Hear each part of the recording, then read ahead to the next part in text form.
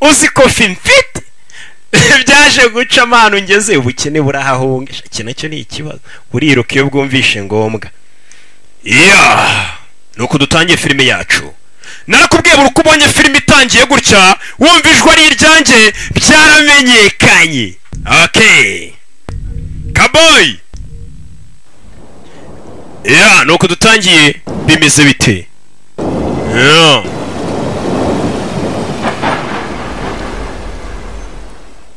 amagambo the Robbie Brothers ndetse na Rock Entertainment rubashemo amafaranga menshi cyane kugira ngo filime bagereho. Ya Public House. Ya wumva amagambo dutangirana?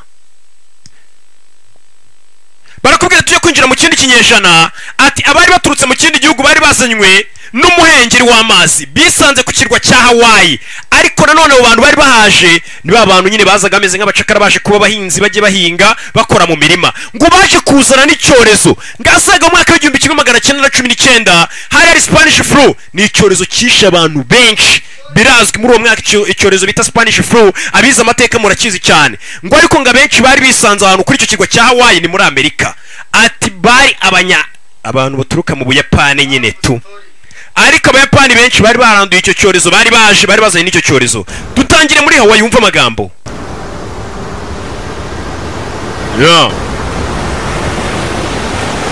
Tangiye.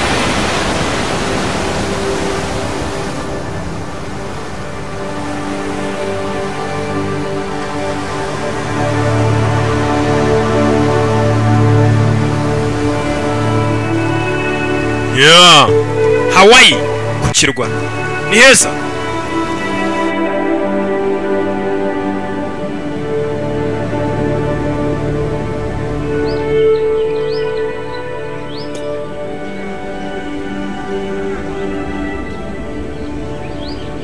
It is but one life, whether we spend it in laughing or in weeping. Ndagira ngo mve amagambo dutangiranye. Buriya ngiye mba nanacecetse kuko mazi ko filime mbazaniye filime y'ubwenge uyizanye akaba umunyabwenge kurushaho. Filime iravuga ngo iki? Dutangiranye umugore atubwira ati burya twese turi kuri iyi si. Muntu uri kunyumva ubanza utega amatwi ubyumve neza. Buri muntu wese uri kuri iyi si agira ubuzima bumwe. Waba umara wishimye waba umara uri kurira. Ugira ubuzima bumwe rero uba ugomba guhitamo. Ugasanga umuntu yanze guhitamo neza ahora mu marira ahora mu gahinda ari we wabyihitiyemo kandi ubuzima tugira ni bumwe. Rero uba ugomba gukora uko ushoboye ukabumara useka cyangwa ukabumara urira ni amahitamo yawe. Agafilime niyo magambo dutangiranye. Ati tugira ubuzima bumwe. Waba umara useka waba umara urira gusa ubuzima twese dufite ni bumwe. Amahitamo ni ayawe. Umuntu uzi ko azapfa ahitamo neza. High up the mountain, where the coffee grows, is an island within an island. ati ni ahantu ku kirwa hasa nk'aho ari mu kindi kirwa agace kakundaga kweragamo ikawa cyane heraga ikawa. Many Japanese came to work and live in per- ati abayapani benshi bazaga kuri kirwa cya hawaii. Hawaii buriya rero urabona iri muri amerika ariko ni ikirwa iyo ukase hirya. Uba ugana mu buyapani nyine uva mu buyapani uhita winjirira hawaii uhita ugera muri amerika. Sort of a new life. abayapani bazaga aho ngaho baje gushaka ubuzima bushya. Baje hawaii gukora nk'abahinzi. Hello? A young boy of mixed race was left an orphan. ati umwana mutonya wari uvangiye cyangwa se yari ikimanyi cyangwa se icyotara kwa kundi umuntu nyine ni umumetisi reka tumwite umuntu wabyawe n'abantu babiri bahuje bafite ibihugu bitandukanye ni icyotara ati umwana wari ufite ababyeyi babiri b'ibihugu bitandukanye mu umuyapani n'umunyamerika yaje gusigara ari imfubyi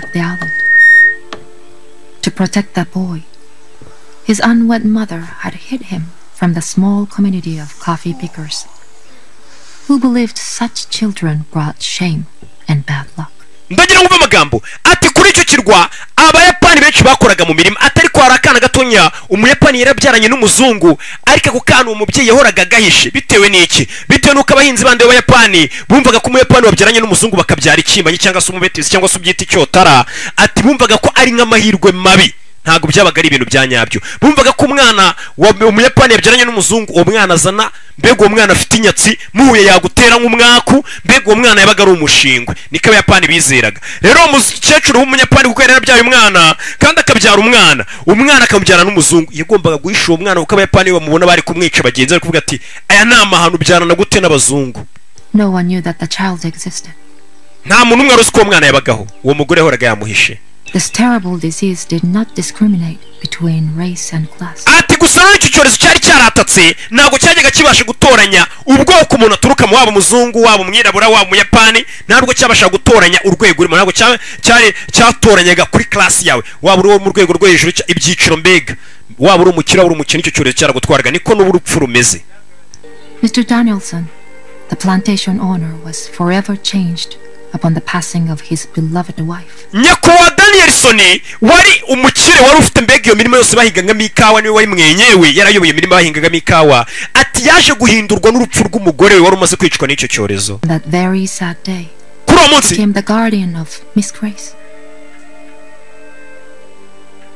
yahise atangira kuba umurinzi wa grace umwana witwaga grace And so, two children from very different worlds were both left without their mothers. katorore akana umunsi mu mwaka wishwe n'icyorezo hariho n'undi mwana wo mu bakire nawe wari wishwe n'icyorezo. Urupfu ni cyo cyiza ndukundira ntirurobanura niyo mpamvu twatangiye filime batubwira ati tubaho ubuzima bumwe. Uhitamo kubaho wishimye cyangwa urira ni akazi kawe. Nta bundi buzima uzongezwa. Ngo uko warize cyane ngo wababaye ngo wumve ngo imana izakongeza ubundi buzima. Reka reka reka. tubaho ubuzima bumwe.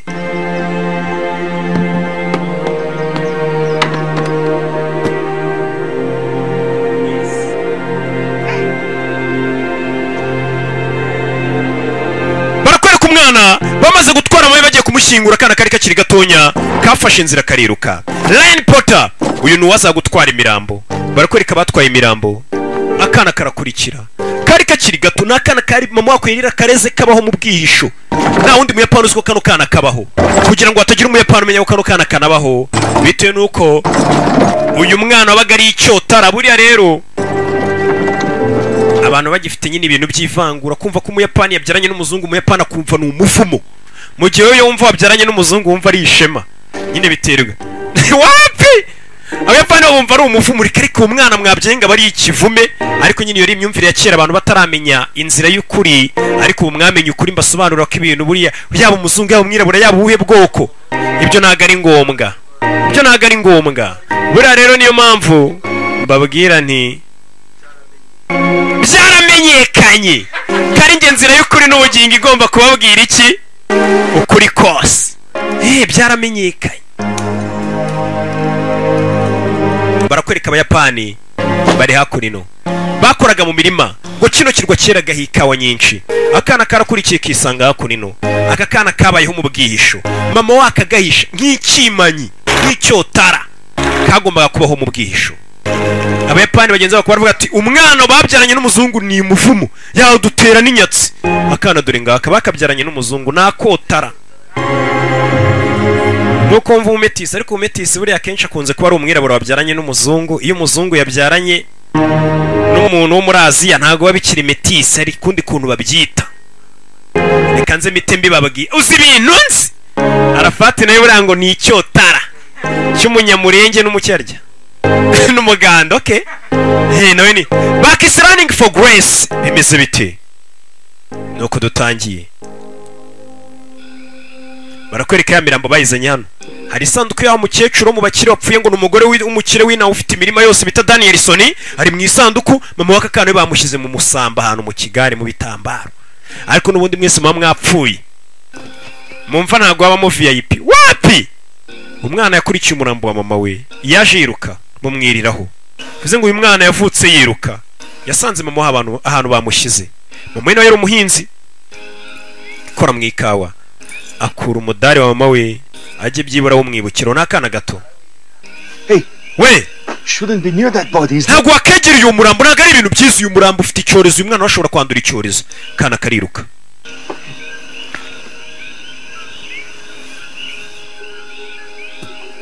Ah. katorore. N'abantu bari bapfuye. Gusa nanone hafi aho ngaho barakwereka hejuru mu nyubako y'abakire. Utwara imirambo harimo akandi kana. Kitwaga grace cyangwa se grace. Mama we nawe yari yapfuye kana kari kari kurunguruka mu idirishya. Mama wako yari yapfuye. Bimeze bite? Katorore. Nuko dutangiye filime yacu. Iza filime z'ubwenge mwantumye. Barakwereka hako nino. Hashize iminsi tubonye kana mama wako yabayeho agahisha k'akabobo. Dore ngaka mu mujyi mu isenta. Ubwo ni ukurara ingangi warwana na warizwa hano abayapani benshi babaga inaha bakora imirima vano wakimanyiwe. Kagurikiwe vano? Abayapani bakabonaga nk'agateramwaku. Umwana w'icimanye cyangwa se w'icyotara w'akametisi bamubonaga nk'umu- nk'umufumo. Kandi batangira kwirukana. Dore ukuntu abayapani bakareba. Bakabonaga nk'umufumo nk'akabatera n'inyatsi. N'agashingwe umwana areba hakurino katorore. Arareba icyo kurya akamira amazi n'amafaranga afite. Abona abandi bana abandi bana. None se mbiririre abona abandi bana bafite ukuntu bafata ibiporezo babibika. Ni umwana avayo hano aza ku murongo. Naho bagurira kuri botike bagurira icyo kurya. Abandi baranagaho ibiceri ugafata irindazi. We nta mafaranga afite. Afite inkeri utuntu tw'inkeri nka dutanu tutagura n'ifaranga rimwe. Yewe nanjye reka ngende mbagura nimba y'inkeri ba mikidiye karabunamira? Kanagamo inkeri hano? Gakuramo irindazi rya sengisa kararirya kahita kanacaho papa kino cyana kiratwibye warwana rw'urumetisi rw'urwimanyi vayo hano bagafataga nk'umuvumo. Kana kararya mu nyice nareye ishyura waruzinga umwana baramukubita. Umva hashobora kuba hari ubundi buryo. Wari waje gutabara. Avuze ati hari ubundi buryo. Ndakeka ibyo uyu mwana yariye aya mafaranga ari bubyishyure. Umugabo waje kumutabara. Yatabaye akana. Abana bari gukubitira irindazi ry'ijana. Ariko si irindazi gusa ubwo bari barimo no kukanga nk'abayapani bavuga ati uru rwanda rwavutse kuri inde ruri kudusebya tuzadutera n'umuvumo. Umugabo yasigaye hano n'utabaye umwana. Katorore. Ni akana gato umwana akomeza kuba imbobo. I sailed 2,500 miles at my own expense nagenze hafi mayiri ibihumbi bibiri magana the atanu mountain, now you're telling me I'm only going to be making half of what was agreed upon. And none murashaka kumbwira ngo murama kimwe cya kabiri cy'ibyo twari twumvikanye I'd like to speak to Mr. Danielson. njye ndashaka kubana na danielson danielson ngo niwe wari nyiri iyi mirimo wa mukire Speak for him. ni njyewe foreman we ni njye umuvugira Coffee market drives everything here. Right now, the, the whole mountain is in the middle of cutbacks. Muri iyi minsi isoko ntabwo riri kugenda neza bitewe n'abahinzi bacu benshi bagiye barwara kiriya cyorezo bagapfa abayapani. Birasaba utegereze ukwezi. Ukwezi? Nyagasani uyu mugabo yaraje gukirwa musaba gutegereza ukwezi? Ibintu byose nabifite bisa nkaho nabicuruje kugira ngo ngere hano. Cyangwa se nabyangije abakozi benshi bacu bapfuye harimo n'umugore wa mabuja bitaga mrs danielson. Nawe yapfuye umugore wa store credit. mugabo. Sawa. Ok noneho munyishyure mbwa basi mwabasha kubona ntari bimbe ntegereje ukwezi. Ntabwo nifuza guhita nsubirayo nonaha. Ni umugabo wari uje ku kirwa Uh, the accommodations aren't what you're used to. Ahantu uri buze kora cyangwa se accommodation yawe ntabwo ime- imeze nk'aho wari usanzwe umenyereye kurara tu. Mbega ahantu bagiye kumuraza hihanganire. Ngo ntabwo hameze wenda nk'amenyereye kurara bamupakiye mu kigare agiye kuguma kuri iki kirwa yarasike agenda nahita asubirayo ariko ageze ku kirwa asanga bitameze neza. Uko acaho dore rwa rwana ruri ingangi ni rwa rwana abantu bose barubona nk'umuvumo tu. Bimeze nk'umuvumo ariko uzi kunyura ahantu abantu bakubona nk'umuvumo. Bavuga ati iyo umuntu akwegereye ahura n'inyatsi uriya mwana afite umuvumo afite inyatsi. Iyo mivumo yayirazwe na ba sekuru. Kiba ari ikibazo. Katurore umugabo dore aho bamuzanye kurara. Bambwiye atanu ugiye kurara uhihanganire. Yinjiye mu kavumo. Ni umugabo. Dore akavumo bamuzanye kuraramo nta buriri nta hantu ho kurara. Aho ni ho agiye kurara. Reba ariko ahantu bamuzanye. Mu itongo. Reba ahantu bamuzanye mu itongo. Kureba ubwiherero kanopi. Dore ubwiherero bamuhaye. Umugabo yarumiwe gusa. Kabo wampaye ako kantu gatonya hano tugakora umuti hano. None sinasubira mu mujyi gute? Utega igare.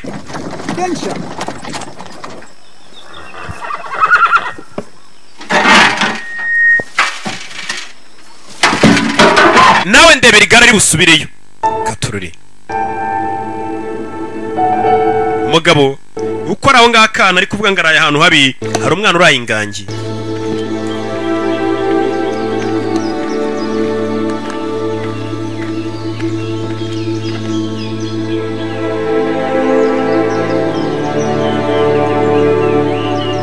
umugabo bwarakeye afata inzira akomeza avure. Ni muri uyu mujyi katorori we yaje nk'umuganga hano yari azi ko ari buhite asubirayo ariko amafaranga ye ntiyabonetse bizinesi ntigenda neza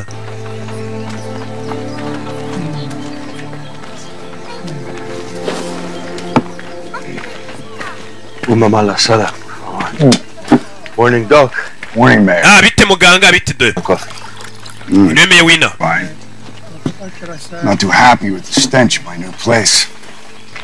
ahantu mwandaje nabikira ndashaka ukuntu hatunganya ariko uriya mwana afite ikihe kibazo? Yabonye ka kana ubwa kabiri akabonye. Ntabwo mbizi. Nta minsi ishize uriya mwana tutazana turutse tubona ari hano muri uyu mujyi. Hari waje avuga ikinyanya esipanye isha mwana umunsi w'amahirwe muganga ni bwo kigera n'ahantu hari umurwayi umugabo afite umurwayi.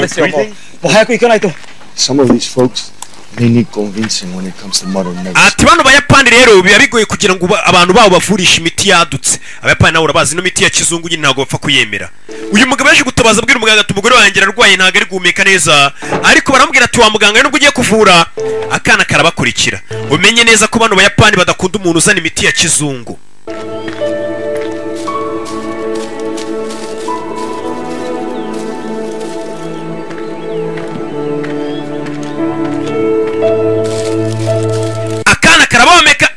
kabomeka bucece uyaje kuvura. Ngo abayapani ariko ntibemera imiti ya kizungu. Ngo bisaba ubanza ubibumvishe neza ko iyo miti iri bukore. Mpuzanyano dajibu tashan uja zansire dikita uja shanshan dajibu ka kirimi nago nyumva. Kikoero ja muganga za gupima. Nyagasani. icyo na cyo inyamaswa cyamurumye kumbera ikinyamaswa cyenda kumera nk'ikiyoka cyamuriye. Yaribona ni umuganga. Cyacyana kiza kurunguruka. Kure y'inshinge abayapani ntabwo bakunda imiti ya kizungu bivura mu buryo bwabo. uyu rushinge ruraza kumufasha. Umuyapani urushinge ararumena kandi rwari rugiye kuvura umugore we. Umugore wanjye baba bamuroze ukamutera urushinge ni nka ba banyarwanda bagifite ubwo bujiji mbese babaye bamuroze ukamutera urushinge. Akahita apfa. We warwana? Uyabona rwarwana ni urumetisi rw'umuzungu n'umuyapani. We hano warwana? Nkeneye ubufasha bwawe. sobanurira uyu mugabo u rwanda ruzi. Ruzi ikiyapani n'icyongereza nkaya nyakenshi abayapani banguye umwana ni umumetisi caho umugore wawe agiye gupfa nutareka ngo bamuvure. Va hano warwanire nawe uri kumutera umwaka uri kumumagira ari kuvuga nk'uko ndi icyima cyangwa se ndi icyotara ndi gutera umwaka hano hantu. Off the main road on the left hand side. wa mwana nukomeza iyi main road cyangwa se uyu muhanda munini uraza kugera mu burasirazuba inzu ihari ni we uri buze gusanga ikindi gikapu kirimo izindi nshinge unzanira izo nshinge banguka. Yatumye akana. Cyana gica uyu mugabo yarafunga. Hari abantu bagifite ubujiji kumva kugira ngo umurwayi bamuvuze imiti ya kizungu yakwemera agapfa uyu guhindukira abona akana yari atumye karirukanse. Irukanka mwana muto agatumya imiti.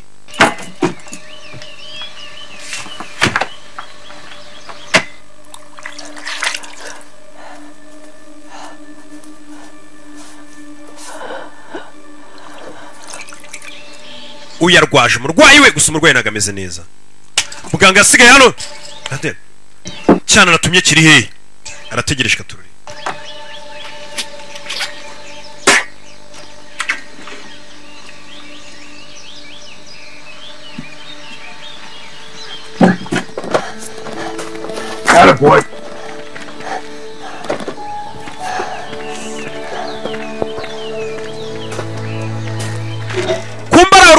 rwagize gutya ruzana ya miti.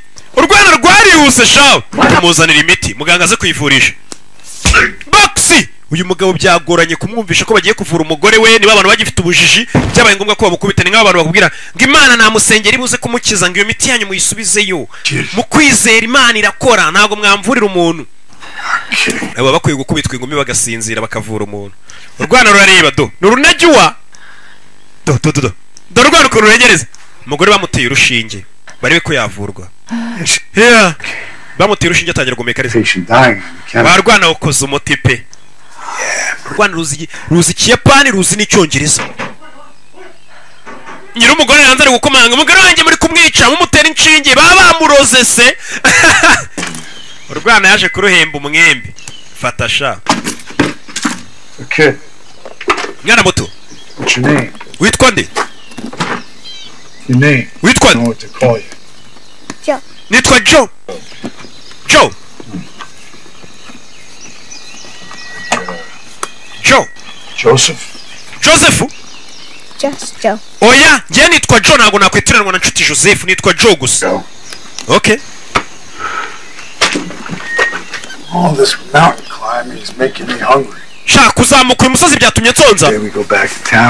Murabyumva gute dusubira mu mujyi tugashaka icyo kurya urwana rubyumva vuba. Uyu mugabo nawe muganga icyo gihe na ambiranse z'abagabo cyangwa imodoka yarabonye agatandiboyi akomezanya n'umutandiboyi we. Ni urwana ruto akomezanya n'agatandiboyi n'akayede. Hakora ino ah wa mugabo turamuvuye arakize ariko ibi byose turabikesha uyu mwana muto. Niwe wihusazana imiti. Kid, mwana muto why don't you tell us where you're from? ese uturuka he kuki utatubwira Help you. tukagufasha abatungira ukaboko misozi The mountain? mu misozi yego Where's your parents? ababyeyi bawe ni bande Mother? mama wawe na so yumva icyongereza n'iki- ni- ni- n'ikiyapani akuramo umukufi awuha meya w'umujyi Mio Watanabe? mata netanyaho uwo ni mama wanjye metamahu Home high up in the mountains on the other side of the valley. She picked alone was a bit of a recluse. uwo mugore turamuzi mama w'uyu mwana yabaga wenyine ntabwo twari tuzi ko afite umwana mbega yabaga mu misozi yazaga guca ikawa ari wenyine wibuke uwo mugore yishaga uyu mwana kuko uyu mwana yari yamubyaranye n'umuzungu kandi kubyara n'umuzungu byabaga ari umuvumo ni ikibazo Kid you all this time? Why would she do that?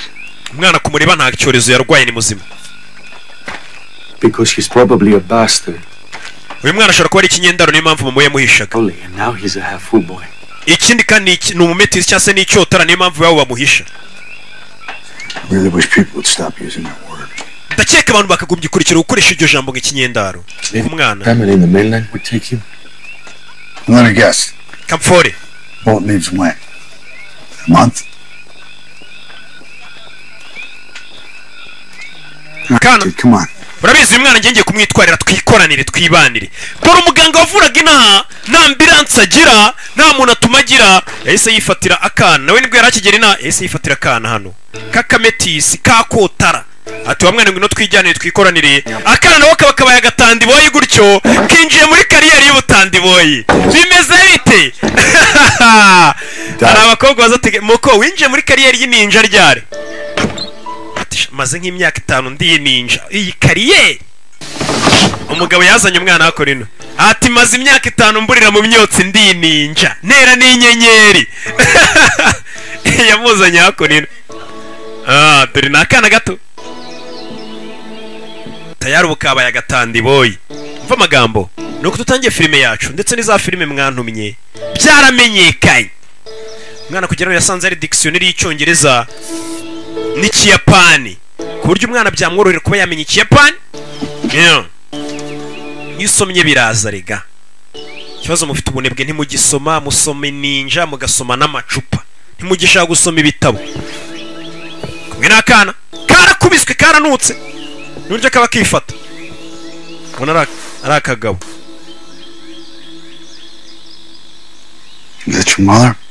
Uwo ni mama wawe. Ah murebe neza ahubwo tukoraho. Karanutse si yarakabihiye nanjye nabuze umuryango wanjye. Buno yari afite nk'umugore n'abana arababura. Ni ikintu kibi cyane kubura umuryango. Ariko tugomba gukomeza tukajya mbere mwana. Ntabwo wiheba. Ngiye kuba ngiye hanze. Ngiye kuba ngiye hanze mwana muto. Nawe ukomeze ujye mbere tu. Katurore ni abahingaga ikawa barakwereka muganga yakomeje kugenda avura ndetse akajyana n'umutandiboyi wa kana niko kamuyoboraga karitsiye karashona n'akaji gato. Barakwereka abayapani ariko barakangaga. Hano abayapani benshi urabona kiriya kirwa cya hawaii cyegeranye n'ubuyapani. Ni mu burengerazuba bwa amerika. Usanga nyine hawaii yegeranye n'ubuyapani. Ni hafi cyane ukwambuka amazi gato uhita ugera mu buyapani. Family's hard at work. You can call me Doc. And this is Joe. mwa bana mwe mujye munyita dok ndi muganga. Uyu ni joe. Nta muhungu w'umwana atadutera umwaka atadutera umwaku. Wibuke uyu mwana abayapani baramwangaga kubera ari ikimanyi. Babonaga atera umwaku. Buriya na gabi wo ku bishenge nkeka ko ashobora kuba yakora ibyo bintu. Gabi buriya ntatera umwaku. Njya mbikeka na byo. Yaje muri studio yanjye. Hari ukuntu amashusho atagaragara neza munyumve alo I'm the new doctor for the plantation. ni njye muganga mushyashya kujya uvura abantu bakora muri iyi mirima To introduce myself. reka mbanze mbibwire Translate, please. basobanure. Igitondo cyiza sobanura. Umwana atangira gukora akazi k'akaroke. Mwaramutse? Mwihangane ko ngiye kubibwira ndi hejuru mwe muri hasi urwana rwongeramo n'ibyarwo. Rurabeshya! Mwihangane ko ngiye kubasobanurira ariko ngewe ntabwo ndi buze kunama sindi no gufunga rasi mumubabarire kuba atabasha kubunamira umugongo uri ku muryango abasuhuza abayapani basuhuza ubunamiye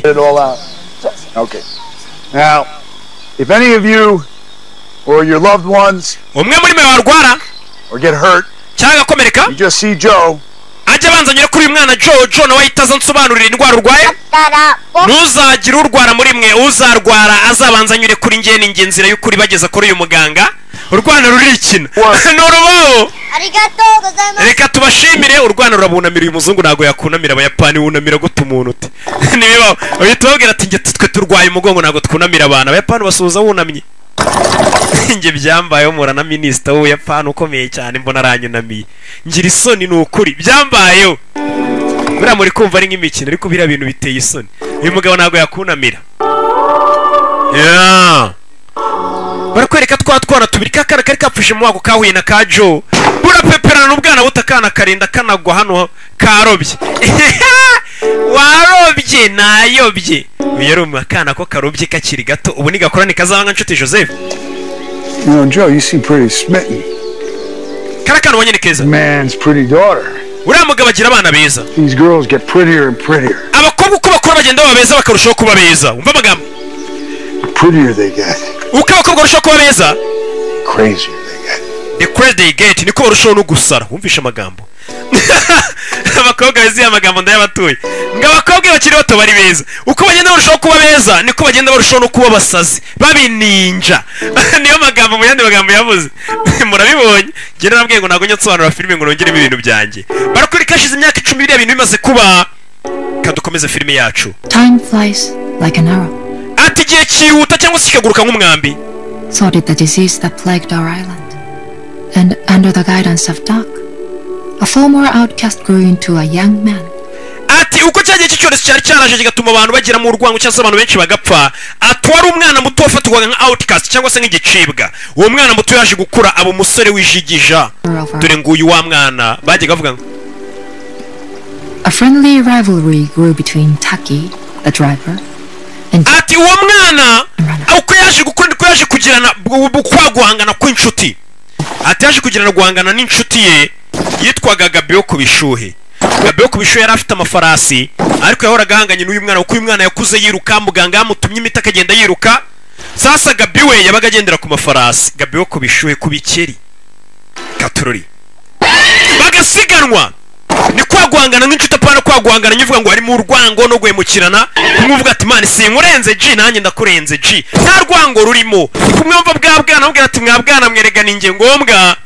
Ab'ibigwari b'ibifura bakarakara ariko ni ngombwa. Ariko ab'ama G baba bumva nta mutima mubi. Batangira gusiganwa gutyo. Bimeze bite? Yeah. Eh, bimeze bite umwana? Yaruka agasiga amafarasi agaca inzira za bugufi. Amafarasi bayihuta cyane mu nceri nk'imodoka. Urwana ariko nanone ku gitsi cyarwo rugasiga gabiyo ku bikeri. Urwana katurore. Mwana akagera gutya akinjira ishyamba hano hantu yari akuriye arahazi uyu ni wa mwana twatangiranye. Bamwita joe. Joe ryonyine ni umuyapani. Akaba n'umuzungu icyarimwe. N'icyotara babita icyotara. Umwana muto. Yaje gukura aba umusore wijigija nanjye ubona abaye umugabo w'igikwerere. Dore ngo kuri kanopi waka! Mama we! Dore ngo kuri kanopi! Erega! Ntacyo ntazabazanira umwana acaho yihuta bimeze bite? Bimeze bite? Mwana! Cano. Cyana cyarihutaga ku kirenge cye. Ngo bahoraga bahanganye n'inshuti ye bitaga gabeho ku bikeri. Abaturage ngo bose babaga bategereje barebe n'indi buze kuba uwa mbere. Uyu mwana yakuze abaturage batangiye bamwanga. Bagera baramukunda bitewe n'uko muganga yamutumaga ndetse akabangukana imiti. Iyo miti ikavura abaturage. Reka buriya abantu bakwanga bataramenya ngo bimeze bite. Se nk'ubu nkanjye wanyanga nushake uko umwana yabaga uwa mbere barakwereka hari umukobwa wumvishe inzogera ivuze. Aratsikira. Aratsikira ni umukobwa. Wo mu gikoma cyava akaba ari n'umwana wo mu bakire dore abarebera muri etaje hejuru mu magorofa. Ariko n'ubundi nakurama kudapfa. Uri muntu utuye mu igorofa atiyubakiye abarutwa n'utuye muri nyakatsi yiyubakiye. Niko gahunda y'umunsi bimeze buriya muntu utuye mu igorofa atiyubakiye. Nta nubwo utuye muri nyakatsi yiyubakiye muba mugomba kuvugana uba umurenze uba ugomba no kumurebera kure. Bwira tuwe ntabwo wanansuhuza. Wakantu that would change our little town. uwo musore ndetse n'umwana wo mu bakire cyane umwana wa danielson witwa grace ngo byatangiye gahoro gahoro ngo ndetse ntabwo twakeka ko byari bigiye guhindura umujyi wacu. Ni umwana w'umukene wa mwana bita grace dore ngo yaje gukura. Umukobwa gusa yavunitse. Bwarakeye hakuno hari uruganda. Rwafashwe n'inkongi. Wibuke hano habaga uruganda ukora ikawa rwari rwafashwe n'inkongi. Umwotsi ni mwinshi. Dore wa mukirenge kwa danielson niwe nyiri uruganda niwe nyiri imirima yose. Ari kumwe n'umuyapani. Imashini zacu zimwe na zimwe ntabwo ziri gukora zahiriyemo zapfuye. Imashini zindi turaza kuzigura. We could sell the cinema.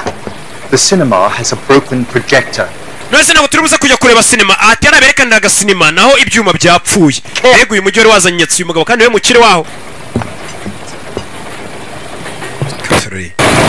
Akomeza ni danielson waba usanga yaritwaga nka daniyeli Is the place all right? nyakwa umukobwa wawe yavunitse Exactly necessary. It's a sprained ankle. I mean, Dr. Lawrence, he could come to the house. dukeneye dr lawrence kugira ngo aze avure umwana wacu umwana wawe yavunitse ni umugore n'agakakana ka grace grace wibuke yagiye kurangarira umuhungu aravunika yavunitse muri cheviye Maybe just the ankle. A fever. umukobwa afite n'umuriro ntabwo ari ukuvunika gusa Take certain precautions for the examination. ndakeka dukeneye ko baza bakamusuzuma bakamuvura ibi byumva Fine. sawa umwana bamuvure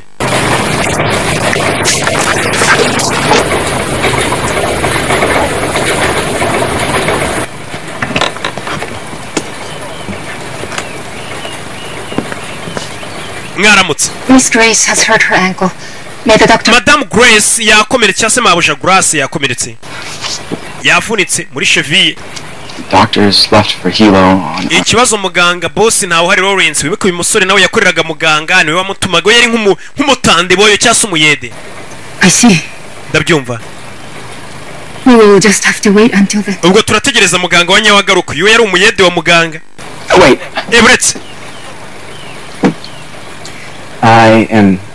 very qualified to tend to such emergencies. ah ibintu nk'ibyo ngibyo byihutirwa nanjye nabasha kubivura Doc has been training me for many years. muganga amaze imyaka myinshi antuza wibuke uyu mwana yakuranye na muganga iyo ukuranye n'umuganga nawe umenya ibintu byinshi uzi ko umukaboyi nshobora kugenda akabasobanurira amaze kumenya kongereza n'agafaransa okay. okay okay, uh, sawa I'm gonna go get my bag.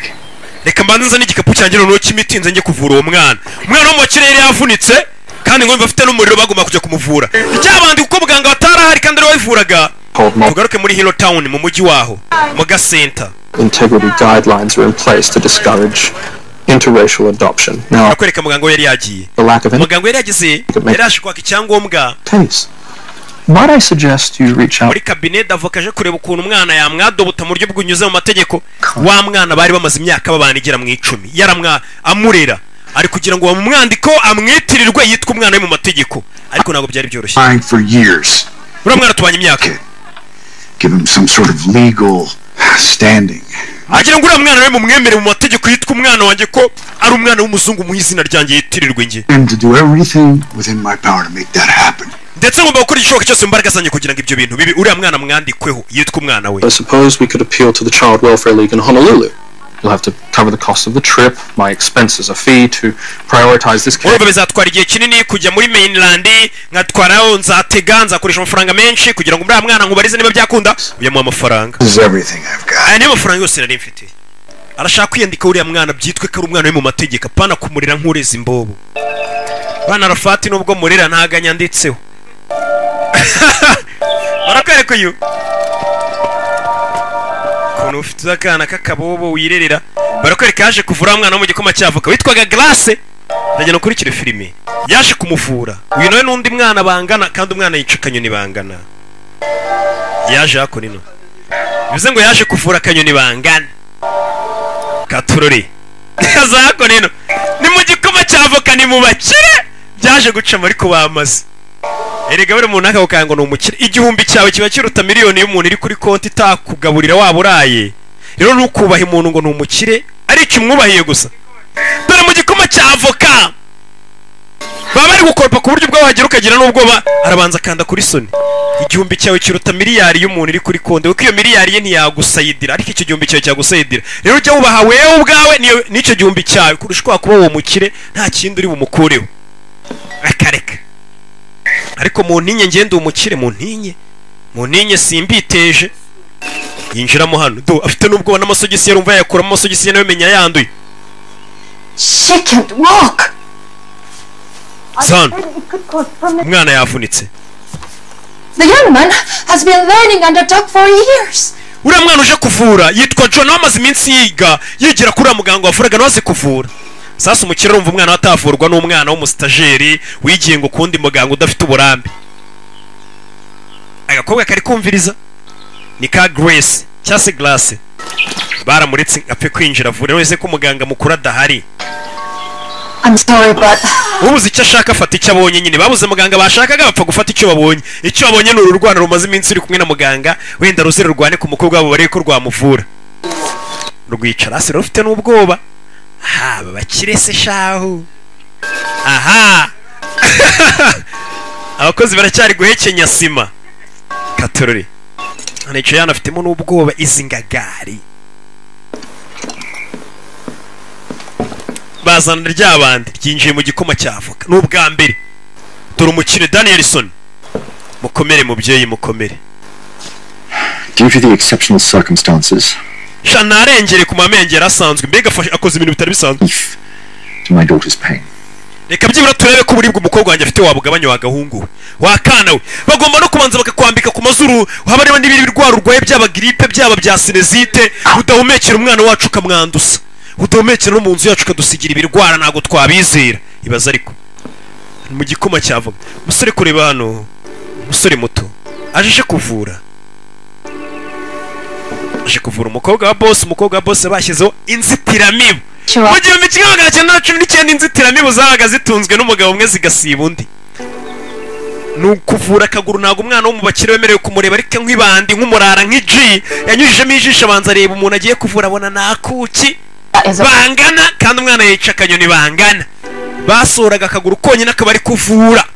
Utareba n'isura y'uwo wavuye. Uyu mwana yabaga afashwe nk'igikomangomakazi ntabwo uba ugomba kumureba. Ariko nk'iji akanyuzamo akareba. Ehe! Ah, eh. aza kumuvura. Kumbe ni mwebwe. Aza kumuvura. Okay abonya kuki bidatinze umwana yaramuvuye. Byaramenyekanye ibandira ihuye n'akuki ko bamenye- ariko akuki nako karobye. Mbega iji ehe. Iji ah mu noneho mwasohoka mugataha ubwo mumaze gukora akazi kabazanye. Umwana acaho wa muganga wamureze witwa Lawrence? Ehe mbega umuganga. Aha wambonye ndi iji byaramenyekanye no ndi iji niko umusore yasohotse avuga. Without me being present. You jeopardize your entire future. warwana hazaza wawe wahangije umwana yatashye bari kumutuka Wrong. wibeshye muganga yatashye aramutuka Danielson's daughter. uriya yari umukobwa wa danielson wagiye kuvura ukamuvura ibintu bidashoboka amuvuye nabi You leave town for a couple days. It was just a sprained ankle, Doc. ariko muganga yari yakomye yari yavunitse gusa muri chevier ni ibintu byoroshye kuba nabivura You thought you were doing the right thing. we watekereje ko wakoraga ibintu bya nyabyo I didn't think you were ready. ariko njye ntabwo nari niteguye ko igihe cyawe cyo kuvura cyari cyagera You're ready. ntabwo igihe kiragera nijye uzakikubwira Word the healer. They're bringing in another doctor. none dore bagiye kuzana undi muganga muri uyu mujyi uzajya uvura abantu bitewe n'uko wagiye ukavura nabi bariya mu bakire bagiye gutuma bazana undi muganga ni danielson bagiye kuzana undi muganga uzajya uvura rwanda rurababara rurikubita bagiye kuzana undi muganga uyu kandi wari umuganga wari umaze imyaka icumi akorera inaha ashyiraho akaririmbo. Ndetse ashyiraho na ka leta ba selekisiyone yumva akarimbo ka king lewis. Tugaruke hano. Wait, they let you in this place. They've never let me near this joint. ariko barwana ubundi biranatangaje kuba barakuretse ukinjira mu rugo rw'abakire ko na n'ubu nari narinjira muri uru rugo rw'abakire sha? Uru ni urugo rw'umuyobozi w'ina rwa rwinjiyemo mbere ya muganga. Yaje yarwambitse neza mbere rwinjiye rwambaye ubutishati na za wangiri rwambaye nk'iji yaruzaye noneho rwambaye. Stuck in his shirt. rwo ribanza utubize n'ishati ariko bagire ngo turi abahamya ba yehova babone ko dufite disipurine at you. warwana n'ubundi acyakurakari byibuke. Waje kuvura tutari kumwe. Rwana rwinjiza baje kuvura ahantu mu bakire. Bazafite iyo n'ubwoba umugabo aragiye akicara gukora amafaranga yo ku buryo yahuye n'abantu batarayakorera bagira ubwoba akavuga ati ariko yagiye ikuzimu yagiye. Tsikemura n'abana. Asiroke ujya ikuzimu ni kubera. None si iyi kofi ugendana imeze nka bibiri wari warambura biriya ngo urebe ariko ni kofi yo nyirambuye iba imeze Mrs. Danielson? ni ibipaje byinshi n'urwo rwarimo umukecuru ureba gutyo baje kureba umwana wo mu bakire baje kumuvura umukobwa yumvisha abantu baje ariruka asa nkaho ari muzima mo ntabwo arembye ajya mu buriri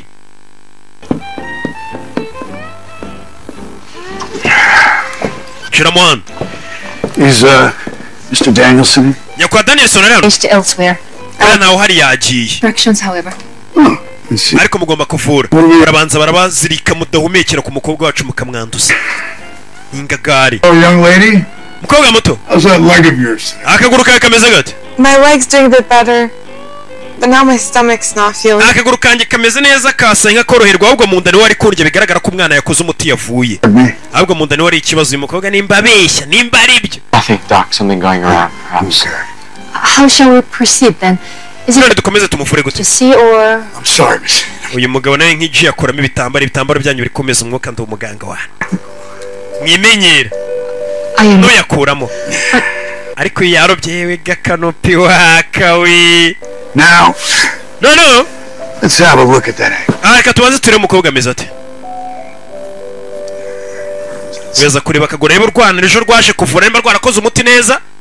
Akaguru ntabwo kari kavunitse ni muri sheferi hari yagize akabazo gato gutsikira Well, how's it feel when I do that?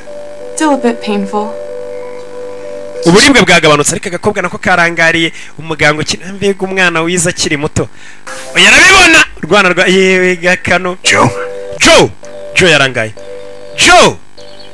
Ba joe bose nimba ari kureba na joseph. Joe eh, karame? Ah ah. Eh eh eh eh cyarobye ehe ni urwana ruto. Muganga rureka ruvura arebe nimba rwaramenye kuvura. Ruri- muri diarrhea? waba warutse cyangwa wagize diyare oya gutyo nkubwiye nta kintu ngeyeho wampa akaboko kawe. Nkumva umutsi noneho nimba uri gutera neza. Amuha akaboko ke. Amuha akaboko umukobwa. Nakwereka nimba ndi gusobanura filime byaramenyekanye nta jambo nongeraho. Izi ndimi iyo nzumva mba ndusha uko numva ikinyarwanda. Ibyo ubona aramwumva byaramenyekanye n'ingerambo aramwumva Yes, of course. azana ese umusore kuvura yarobye yaranga? Ariko umwana muto umeze neza? Zana icyana kimaze iminsi gikorana n'uyu muganga na cyo kimaze kubimenya. Fata kano. Yes. So I'm placing this under uh, your tongue. kano ngiye kugashyira mu kanwa kawe cyangwa se munsi y'ururimi. Uko bishaka ubivuga uko. Rupetivayo byaramenyekanye! Ashyiramo akantu mu kanwa gapima ubushyuhe yumva umuriro bimeze bite? Ese eh, nyine nyine. Turategereza akanya. Yarobye. Ariko uru rwana. None uzabasha kuvura abantu. Hmm? ukabona urugero ku barwayi? Yaje kuvura akanyoni bangana. Enough. Oh, uh, akanya karahagije akuramo. Byiza? reba umbwiriza she has no temperature. Bisa nkaho uyu mukobwa nta muriro afite ameze neza. Dead. no fever. cyabuze imyifato cyarangara umukobwa kugira ngo kimuvure Or nerves. bisa nkaho afite akantu k'umutwe kari kumurya gatonya nicyo kibazo mbona Anything we can give her? tumuhe iki Maybe we can give her some herbs? tumuhe ibintu by'ibyatsi by'imiti Basil. Tumuhe basil give her some basil. ah uyu mugore ati ko tumuhe basil ni ibyatsi ni ubwoko bw'ibyatsi nyine buvura. Turn these basil leaves into a tea and bino bibabi mubishyire mu cyayi cye. mwongeremo na ginger. Ginger harya niyo tangawize. Ndakeka. Mumuhe na tangawize muvangemo. Ariko cyarangaye dododo sa murakoze murakoze. Ariko agakobwa nako karanga mbega umuganga ukiri muto. Ehe. Abakobwa bakunda umuntu urenze. Ese ubu yize ryari? Ni nk'iyo bambonye. Buriya rero muri kumva mugira ngo ni igisaza ni cumi n'icyenda. Ndakana gato. Ariko sha ibintu nzi. Rupita rero buno ndaziteje. Ndashaje mwumveho ndashaje. Mwumveho ininja. Iki? Bacaho ni umwana muganga bari baje kuvura.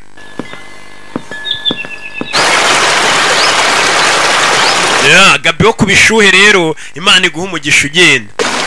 Baje mu nzira hano.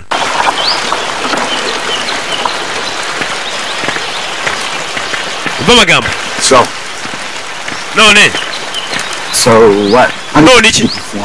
Wacyane wari mu Confident? wari ufite icyizere?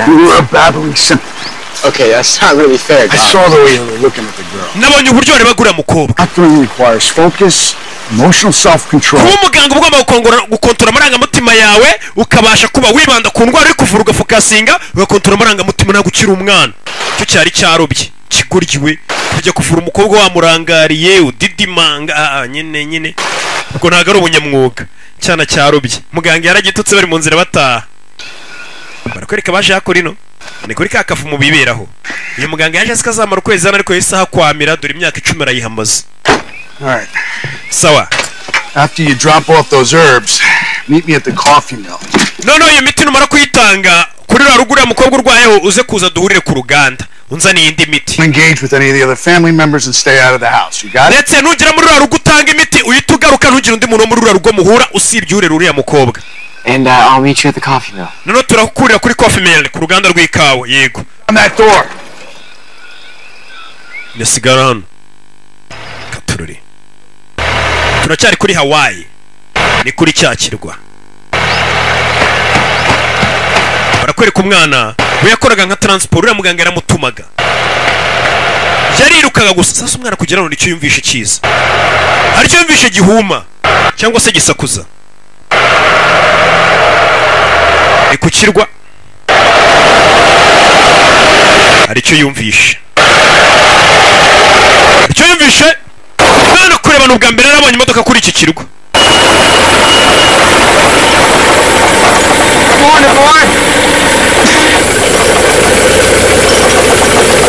Waje wambwira ko kwa danielson batuyera. Uramutse ugenda n'amaguru ni mirongo itatu ari kubwira umuntu utwaye imodoka.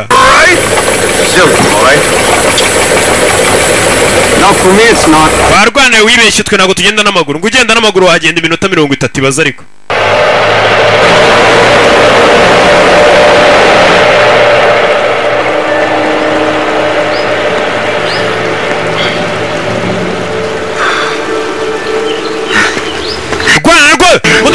Kugenda reka na yo nyisige iriya ni imodoka rumenyereye gusiga amafarasi. Gusa runze inzira z'ubusamo rurakurikira barwita rwa rundi. Turaruzi rwa jo. Rurakurikira arebe ko nayitanga. Hari imodoka ije muri kano gace. Ntabwo imodoka zari zimenyerewe. Katurore nuko dutangiye agafilime kacu. Umwana akurikira ko umukire ari kumubona ashahura urwana rwirukanka inyuma y'imodoka ruzi. Kiyari mote imodoka ko yitwa ngo isi nisakaye arakurikira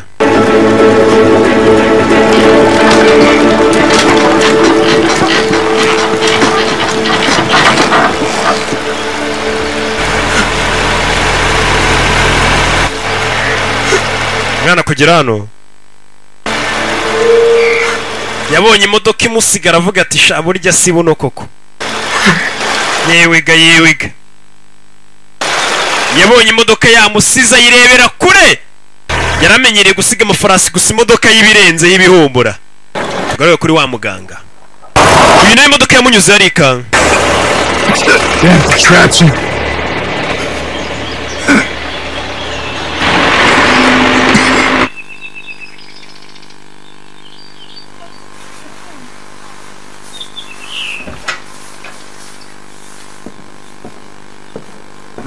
no, no, no, that won't be necessary. We have a real doctor here. Grace. This is Dr. Reyes.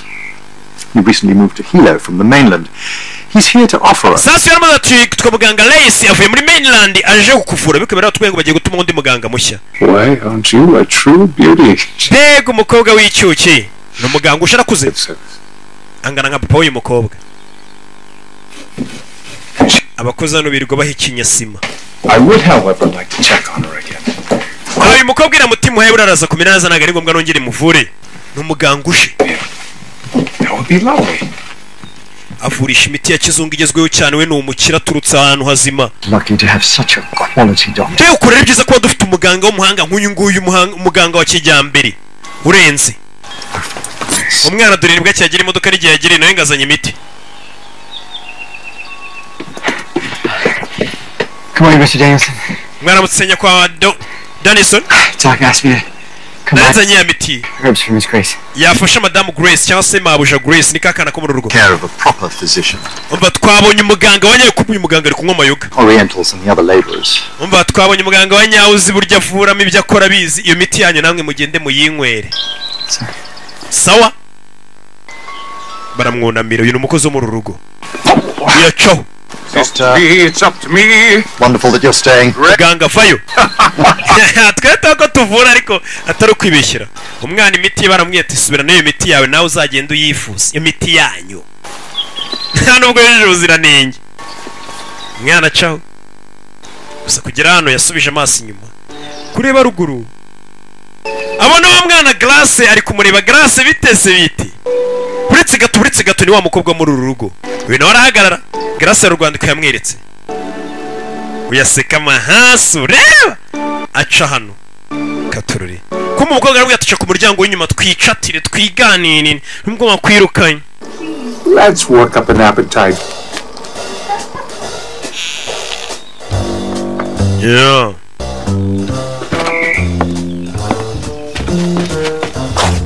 Yaciye ku muryango w'inyuma bari bari gushaka ngo apeti bari kubyina bashaka apeti This for years.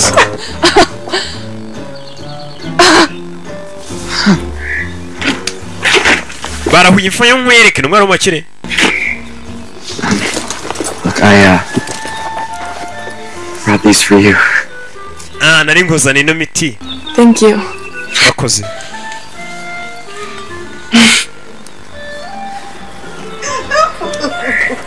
Come with me. It's okay. meze sangwina ariko sasa uyu nguyu yari yabwiye kiriya cyana kize kumuzanira imiti nticyayimuzana nubwo kibereye mu mukobwa bari kuganira bari iyo hirya cyana dore ngiki umukobwa yamuzanye hano umukobwa wo mu bakire uyu ni umutandiboyi w'umuganga I'm Joe. nitwa joe I know. nari mbizi ko ariko witwa. Nanjye nitwa grace nawe nari mbizi byaramenyekanye. Um, first. we banza umbwire banza umbwire What's your favorite part of the island? kuri iki kirwa dutuyeho ni ho hantu ukunda kuba uri cyangwa se ukunda cyane kurusha andi nkunda hejuru ugasongera ku musozi. Mva ngo barahamagara. Genda genda bagiye kuza kundeba. Ni umwana wo mu bakire uyu ni nyakatsi ni umutandiboyi funga amaso umusore mbwa ati funga amaso nk'umurara nk'iji funga amaso nkwereke bebe aba rero ntabwo bakunda kwibagirana. Komeza ufunga amaso amwambika akarabo aba rero baba bafite tekinike nyinshi utuntu tworoheje uturabyo agushyiraho utuntu tworoheje. Mu mikoro ye make utazi ukazigera utamwibagirwa mu buzima bwawe bwose. Nk'iji byaramenyekanye kabarara ari uko bakora. Hari bizinesi y'utuntu kuganira na mr danielson hari umugabo waje akunda ashaka kuganira na danielson katururi umusaza. Ibi ni iki? Hari ako yamuzaniye.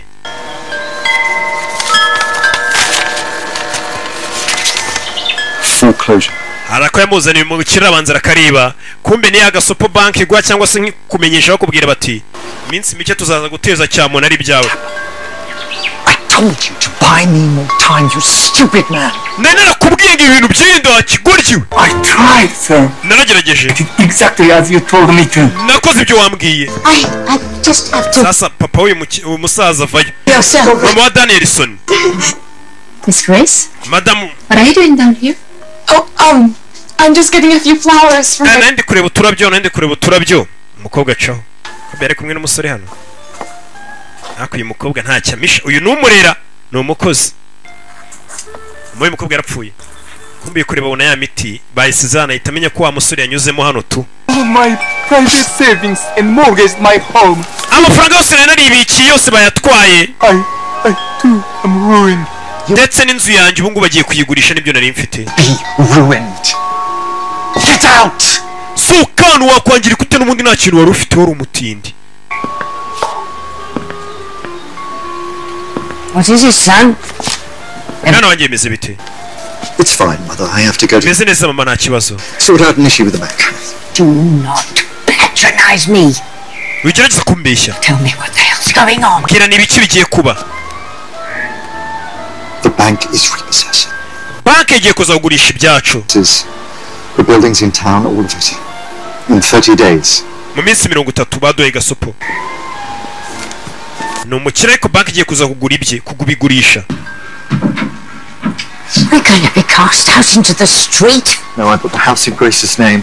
Miss Hanabusa as her official guard. ikintu batazagurisha ni inzu kuko yanditse mu izina rya grace ni imirimo iyi nzu niyo yonyine banditse mu izina rya grace I did what I had to do. nakoze icyo nagombaga gukora Have been guzzling gin. I have been fighting every day. mu gihe wari wicaye uri kunywa jini jini mbega ni buriya buyoga bwa gin nuba ari uburikeri njye nari ndi kurwana kugira ngo tugumane iriya mirima yose Think what people will say. ibaze ibyo abantu bazavuga Surely, surely there's some way we can fix this. ibintu nta kuntu twabikemura wapi Oh, Nana.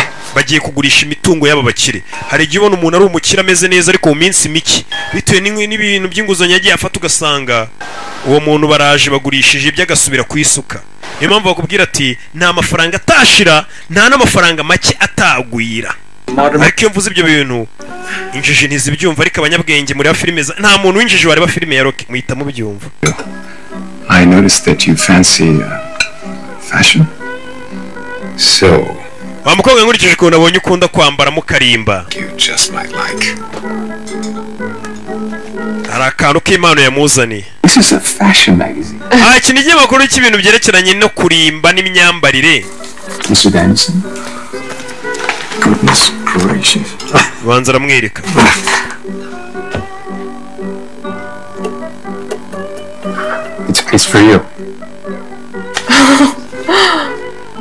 mbega ukuntu byiza Thank you, Dad. Mm. Not at the table, Grace. umva wisomera ibyo binyamakuru kuri ku Maybe one day she'll be able to visit the fashion capitals of the world like I have. Paris is. Tururi. It's magical. I'm so silly. katurore dj arafata ukoze ibiki ariko nawe. Iya murihangana ni uko bigenze gatonya ariko turetse dukomeza filime yacu. Ndetse nta gitima kibi arafa kora umuti kora umuti. Mwihangane bantu banjye ni uko agafilime kasohotse kameze twagakuye muri amerika. Ari uko kameze nigiriyeyo.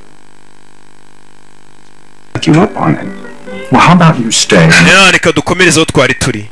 I'll show you some options to consider. Only if I can come by for another visit to check on my most lovely patient. Oh, yes, arafa bigenze bite murihangana abantu banjye yes. Mm, please do, Doctor. Ya.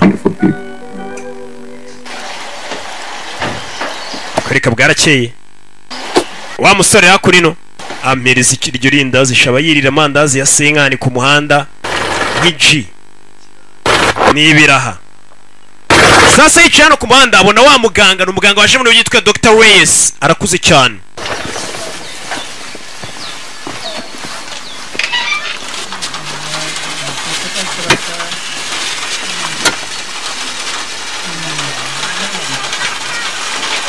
Wagira ngo nimbwa ireba TV Boy, musore um, else. ah imodoka yawe irahumura. Tu ni nk'izaroke ni nk'imwe mu zaroke. Left me in the dust. That was you?